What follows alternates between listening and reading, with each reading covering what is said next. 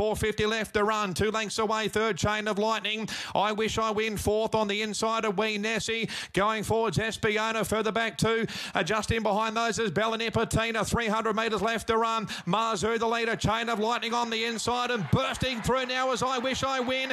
Down the outside is Espiona. Also Bella Nipotina and Private Eye down the outside. I wish I win Bella Nipotina. I wish I win Bella Nipotina. They hit the line. Oh, it's a bobbing photo. I win or Bella Nipotina. Not sure who gets the bob. Wait for the judge.